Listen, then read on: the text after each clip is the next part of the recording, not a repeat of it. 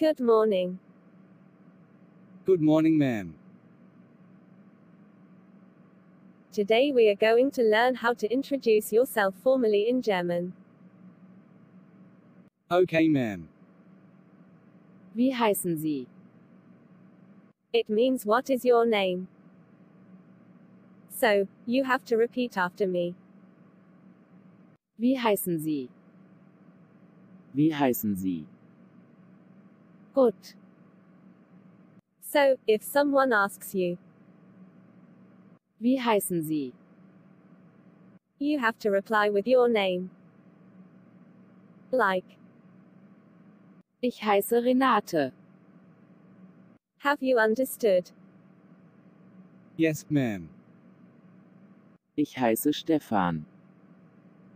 Very good. Now we will learn how to ask someone's age in German. Wie alt sind Sie? It means how old are you? Now you have to repeat after me. Wie alt sind Sie? Wie alt sind Sie? Good. If someone asks you, Wie alt sind Sie? you have to tell your age. Ich bin 30 Jahre alt. It means I am 30 years old. Have you understood? Yes, ma'am. Ich bin elf Jahre alt. It means I am 11 years old. Very good. Now we will learn how to ask where do you live? Wo wohnen Sie? It means where do you live? So, you have to repeat after me. Wo wohnen Sie? Wo wohnen Sie? Good.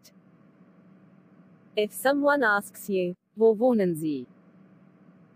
you have to reply I live in Berlin. So in German we will say, Ich wohne in Berlin. Ich wohne in Berlin. very good. Now we will learn how to ask someone where do you come from? Woher kommen Sie? It means where do you come from? So, you have to repeat after me. Woher kommen Sie? Woher kommen Sie? Good. If someone asks you, Woher kommen Sie? You have to reply I come from Germany. Ich komme aus Deutschland. Ich komme aus Deutschland. Very good. Now we will continue in next class. Thank you, ma'am. Please like, share and comment on my video and subscribe my channel.